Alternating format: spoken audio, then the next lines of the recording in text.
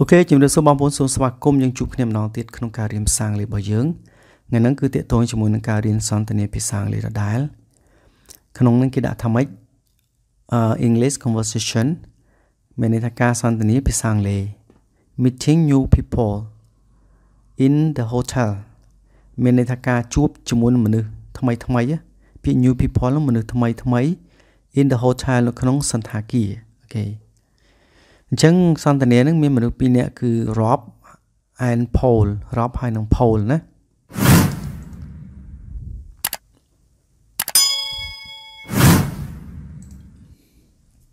អូខេអញ្ចឹងក្នុងនេះគេណែនាំបង្ហាញយើងគេថាម៉េច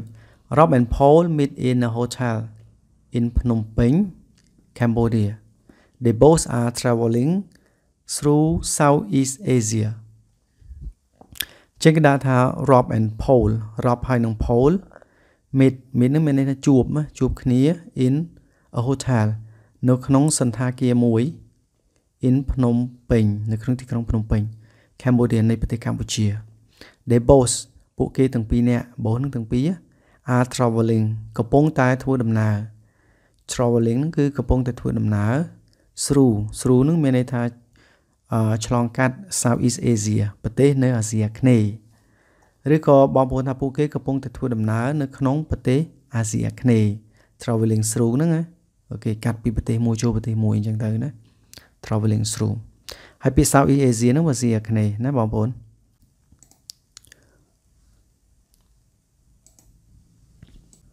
Hey I'm Rob សួស្តីខ្ញុំឈ្មោះ Rob What's your name តើអ្នកឈ្មោះអ្វីដែរអូខេ What's your name តើអ្នកឈ្មោះអ្វីអញ្ចឹងបងប្អូនដឹងហើយកាលណាយើងចង់ស្គាល់ឈ្មោះគេបងប្អូនបង្ហាញឈ្មោះខ្លួនឯងសិនមកណាទៅវាគួរសម Hi I'm Paul សួស្តីខ្ញុំឈ្មោះ Paul How are you តើអ្នកសុខសប្បាយទេអូខេអញ្ចឹង How are you តើអ្នកសុខសប្បាយទេ យើងកុំភ្លេចពាក្យ How are you ហ្នឹងអ្នកសុខសប្បាយទេអាហ្នឹងគឺជាការគួរសមមួយដ៏ធំ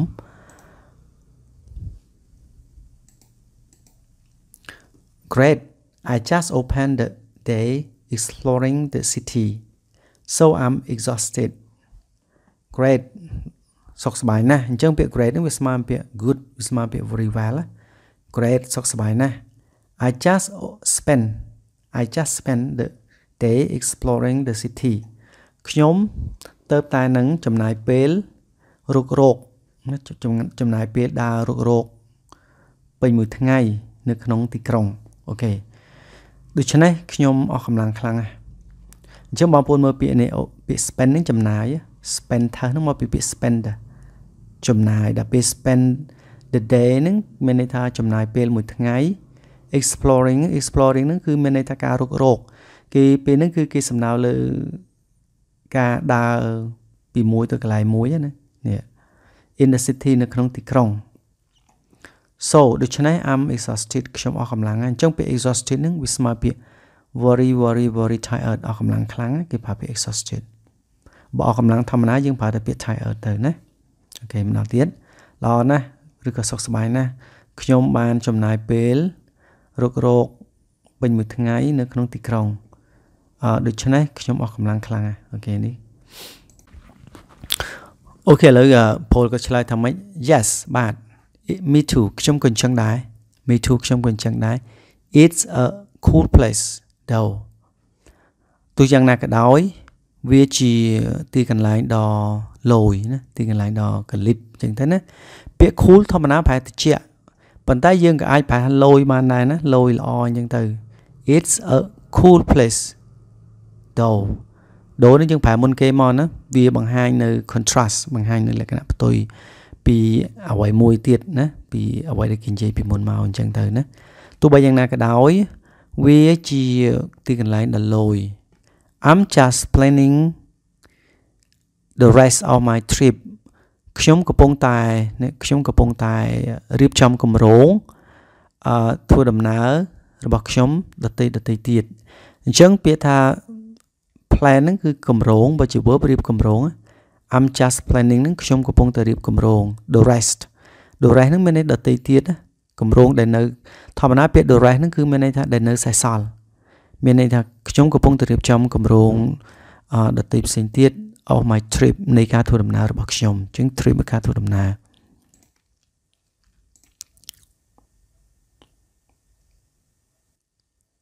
Oh yes how long are you traveling for អូបាទ តើរយៈពេលយូរប៉ុណ្ណាដែលអ្នកអឺនឹងធ្វើដំណើរ OK មានន័យថាតើអ្នកនឹងធ្វើដំណើររយៈពេលយូរប៉ុណ្ណា how long ហ្នឹងគឺសួរពីរយៈពេលរយៈពេលអូខេឥឡូវ poll គាត់ឆ្លើយថាម៉េច9 months I'm on a gap year from college what about you are you on holiday or traveling OK អញ្ចឹង Paul គាត់ថា9 months រយៈពេល9ខែអញ្ចឹងពាក្យ months មានន័យខែ9នេះ9ណារយៈពេល9ខែ I'm on a gap year ខ្ញុំកំពុងតែស្ថិតនៅក្នុងឆ្នាំដែលទំនេរអញ្ចឹងពាក្យ gap នេះមានន័យថាទំនេរអត់ធ្វើការឬក៏សម្រាប់ពីការរៀនសូត្រអីចឹងទៅណាខ្ញុំកំពុងតែស្ថិតនៅក្នុងឆ្នាំទំនេរនេះ from college ពីសាកលវិទ្យាល័យមានន័យថាគាត់អត់អត់រៀនទេគាត់ទំនេរ what about you what about you ចុះអ្នកវិញអូខេកាលណាយើងចង់សួរគេត្រឡប់វិញ what about you ឬក៏ and you ចុះអ្នកវិញ are you on holiday or traveling តើអ្នកកំពុងតែស្ថិតនៅថ្ងៃសម្រាកឬក៏នៅក្នុងការធ្វើដំណើរអូខេអញ្ចឹង traveling នេះគឺការធ្វើដំណើរពីកន្លែងមួយទៅកន្លែងមួយណាហើយ holiday នេះគឺសម្រាប់អូខេឥឡូវយើងប្រែម្ដងទៀតរយៈពេល9ខែ ខ្ញុំស្ថិតនៅក្នុងឆ្នាំទំនេរពីសាកលវិទ្យាល័យចុះអ្នកវិញតើអ្នកកំពុងតែស្ថិតនៅថ្ងៃសម្រាប់ឬក៏ធ្វើដំណើរអូខេឥឡូវរាប់គាត់ឆ្លើយថាម៉េច I just finished my final year of the university so I taken this year off to travel around Asia before I start working what are you studying អូខេអញ្ចឹងរាប់គាត់គាត់ថាម៉េច I just finished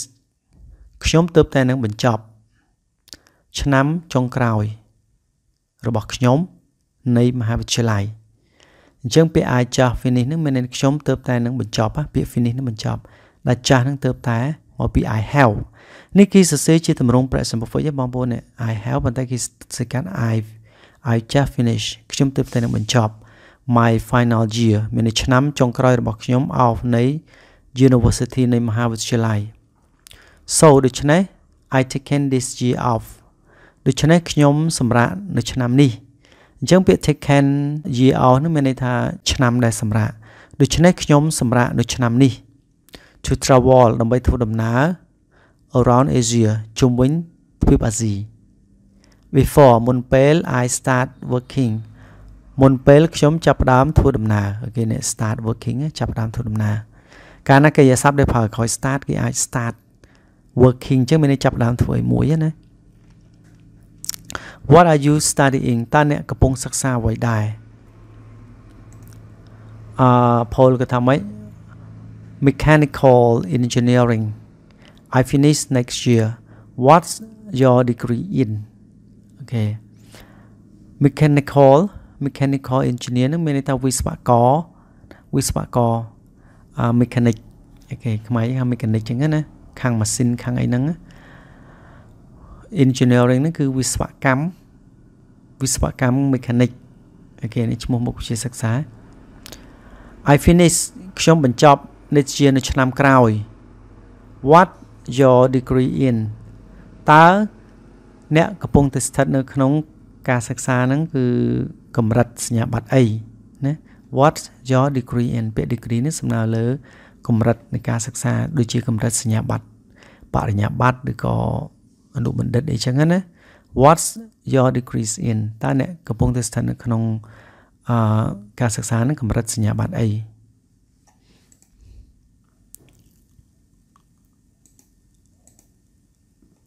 marketing មានន័យថាផ្នែកទីផ្សារណា marketing ផ្នែកទីផ្សារ final year was really stressful so it's nice to have some time off marketing មានន័យថាខាងផ្នែក marketing ផ្នែកទីផ្សារខ្មែរយើងផ្នែកទីផ្សារ final year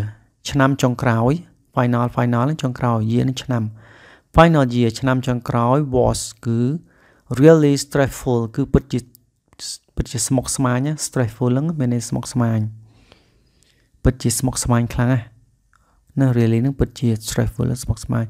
so ដូច្នេះ it's nice វាល្អខ្លាំងវាល្អខ្លាំងណា to have some time off ដែលមានពេលវេលាសម្រាប់ខ្លះអញ្ចឹងពាក្យ have time off ហ្នឹងមានន័យថាមានពេលវេលាសម្រាប់ដែល some ខ្លះគេមានពេលវេលាសម្រាប់ខ្លះគេលើម្ដងទៀត marketing ផ្នែកទីផ្សារ final year ជាឆ្នាំចុងក្រោយ was really stressful គឺពិតជាស្មុគស្មាញខ្លាំងណាស់ដូច្នេះវាគឺល្អណាស់ដែលមានពេលវេលាសម្រាប់ខ្លះ Yes that's why I taken a year off before it what are your plans for the next few days I want to visit the mountain region but don't want to go alone do you fancy joining me អូខេអញ្ចឹង poll ក៏ថាម៉េច yes yes នឹងមានន័យថាបាទអញ្ចឹងទៅយើងប្រុស that why នោះជាមូលហេតុ why why ប្រែថាមូលហេតុពេលហ្នឹង that's why នោះជាមូលហេតុ I taken a year off ដែលខ្ញុំសម្រាប់មួយឆ្នាំណាពាក្យ take year off ហ្នឹងមានន័យថាសម្រាប់មួយឆ្នាំនេះ I taken a year off ដែលខ្ញុំសម្រាប់មួយឆ្នាំ before it មុនពេលវា មុនពេលវាហ្នឹងគឺមុនពេលចូលរៀនបន្តទៀតណានេះ អូខេ it ពេលនេះសំដៅលើការរៀនបន្តទៀតឆ្នាំចុងក្រោយណាតើគម្រោងរបស់អ្នក plan ហ្នឹងគម្រោង what are your plans តើគម្រោងរបស់អ្នកដូចមិនដែរសម្រាប់ពី3ថ្ងៃបន្ទាប់ទៀតមានន័យថាសម្រាប់ពី3ថ្ងៃបន្ទាប់ទៀតណា next few days ពី3ថ្ងៃបន្ទាប់ទៀត I want to visit the mountain region ខ្ញុំចង់ទស្សនា តំបន់ភ្នំអញ្ចឹង one ចង់ visit នឹងទស្សនា the the mountain mountain ភ្នំពេល region នឹងតំបន់ខ្ញុំចង់ទស្សនាតំបន់ភ្នំ បាត់ប៉ុន្តែ don't want to go alone ប៉ុន្តែមិនចង់ទៅតែឯងទេ don't want to go alone មិនចង់ទៅតែឯងទេ do you fancy joining me តើអ្នកពេញចិត្តចូលរួមជាមួយខ្ញុំឬទេអញ្ចឹងពាក្យ fancy នេះមានន័យថាពេញចិត្តណា do you fancy តើអ្នកពេញចិត្ត joining me ចូលរួមជាមួយខ្ញុំហ៎អូខេឥឡូវរាប់ក៏ឆ្លើយថា yes definitely បាទពិតជាបានពិតជាចូលរួមណា definitely នេះគឺជាចម្លើយដែលដែល poll ក៏សួរទៅទៅដើរលេងភ្នំមួយគ្នាអត់មិញហ្នឹង yes definitely បាទពិតជាបាន I know plans ខ្ញុំមិនមានកម្រងទេអញ្ចឹង I know plan មកពី I have no plan ខ្ញុំអត់មានកម្រង and I'm keen on ហើយខ្ញុំចាប់អារម្មណ៍ seeing ការដើរកំសាន្តការដើរកំសាន្តការដើរមើលវាផងដែរណា it it នឹងវាវានឹងសំដៅលើការដើរមើលព្រៃភ្នំហ្នឹង OK to នេះផងដែរហើយបងប្អូនទៅចាំពាក្យ keen on នេះមានន័យថាចាប់អារម្មណ៍ទៅលើអីមួយបដោតទៅលើអីមួយ OK អញ្ចឹងបងប្អូនមេរៀននេះប៉ុណ្ណឹងដល់ទីបញ្ចប់សូមអរគុណសម្រាប់ការតាមដានទស្សនាហើយយើងនឹងជួបគ្នាទៀតនៅមេរៀនក្រោយជូនពលលោកអ្នកមានសុខភាពល្អ bye bye